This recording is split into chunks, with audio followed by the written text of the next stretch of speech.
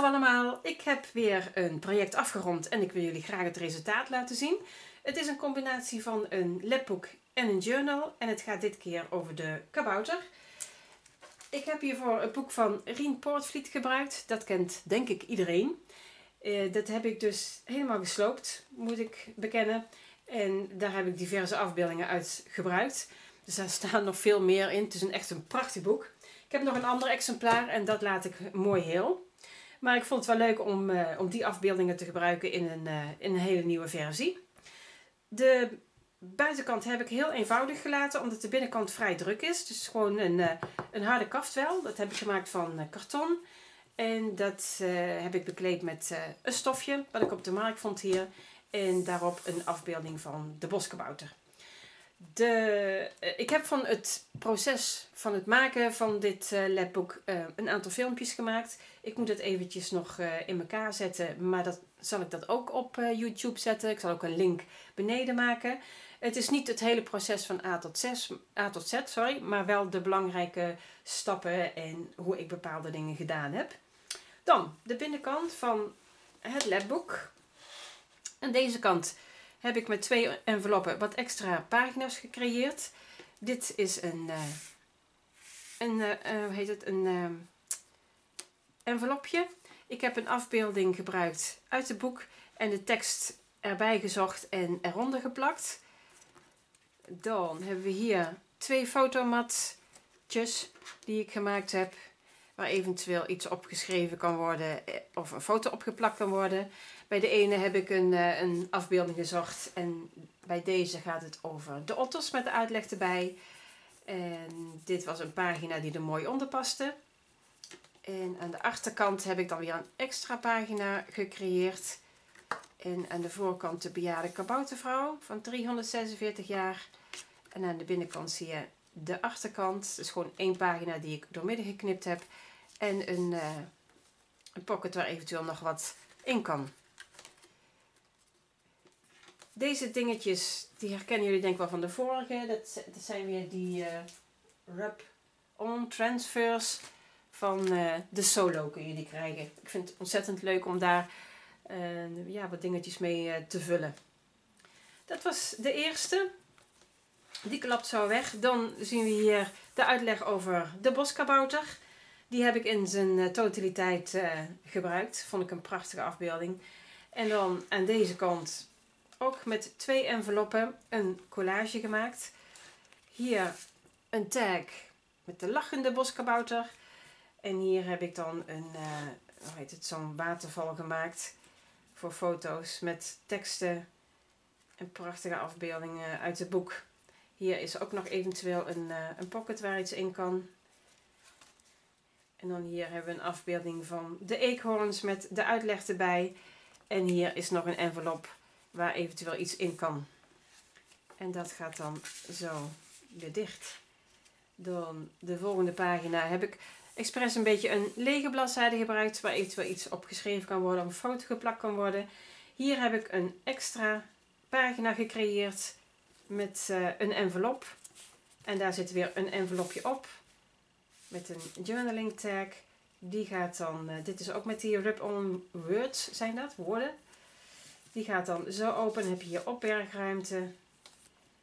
En dan aan de andere kant hebben we ook nog twee pockets waar eventueel iets in kan. Dit heb ik er gewoon uitgeknipt. En de tekst die erboven stond heb ik eronder neergezet. En dat geeft dan ook een hele mooie pagina. Dat gaat zo weer dicht. Deze moet trouwens zo.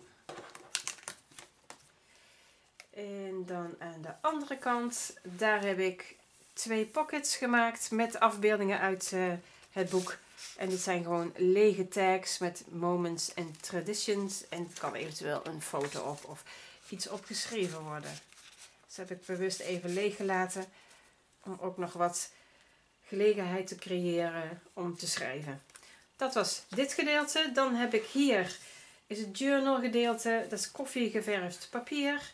En daar heb ik... Uh, verschillende pagina's toegevoegd. Ook wat schrijfpapier. Verder is het gewoon helemaal leeg. Hier heb ik een pocket gemaakt van een afbeelding. dit is de pagina over vlechten die ik erin verwerkt heb. Even kijken, dit is gewoon journaling. Nou, hier is gewoon van heel veel ruimte om op te schrijven, te plakken, te tekenen, wat dan ook. Dit is een, uh, ook een pocket. Dit is een afbeelding van hoeveel de kabouter weegt. Het antwoord staat aan de andere kant. En dit is eentje, die heb ik als middenpagina gebruikt. Verspreidingsgebied van de kabouters in Nederland. En dan zien we hier aan deze kant dat het mannetje 300 gram weegt en het vrouwtje gemiddeld 200 tot 275 gram. Een beetje minder dan wij. Hier is weer ruimte om te journalen. Hier is de andere kant van de vlechtpagina. En de achterkant. Hier heb ik nog een pocket gemaakt van een schattige afbeelding. Hier is de andere kant van het gereedschap. En hier heb ik nog een pocket gemaakt van de prachtige molen. Gewoon omdat het zo oer-Hollands is. Dit ehm, kan er gewoon uit. Het zit achter een elastiek. Kan eruit gehaald worden als het vol is. En dan kan men eventueel iets nieuws. Of je laat het gewoon zitten. Dan heb ik hier van twee enveloppen ook een soort van halve pagina gemaakt. Dit, uh, dit gaat allemaal over de, de ziekte en uh, de kruiden die er tegen gebruikt worden. En dan heb ik hier ook nog tags erin zitten met wat informatie. En deze kant heb ik ook een tag zitten. Hier is eventueel ruimte voor een foto. Dit is een klein boekje waar eventueel een klein fotootje in kan. Of een kleine notitie. Of je schrijft er zelf iets in. Hier ook weer ruimte voor een foto. Een kabouter op een... Oh, er zit nog een stukje lijm.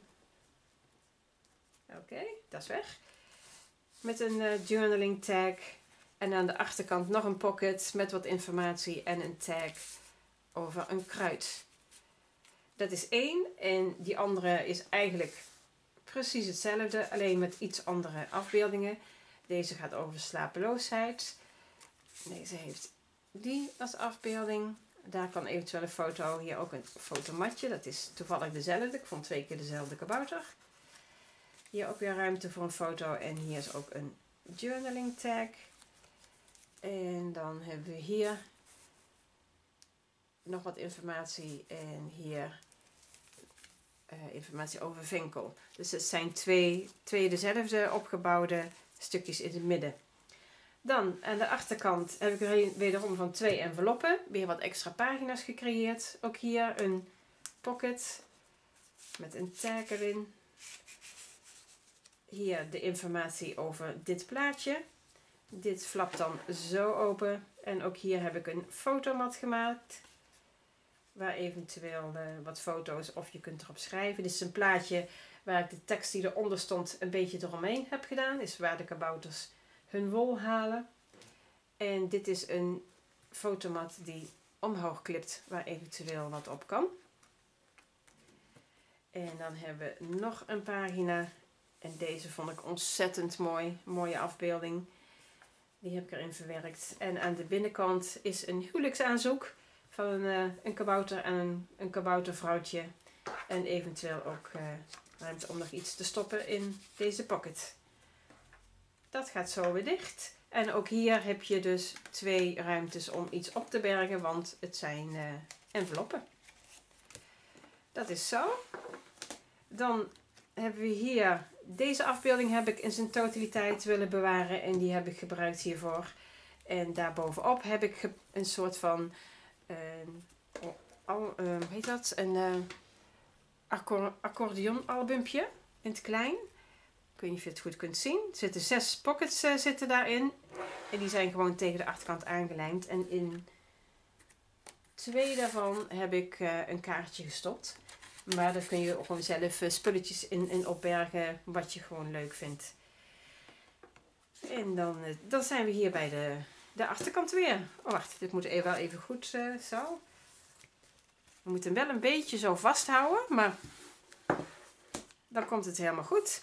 En ja, dat was het. Echt een, een leuk project om, om te maken.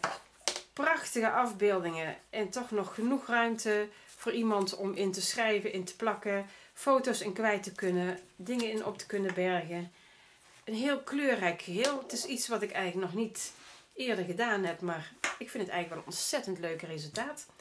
Ben benieuwd wat jullie ervan vinden. Laat eens weten en uh, bedankt voor het kijken.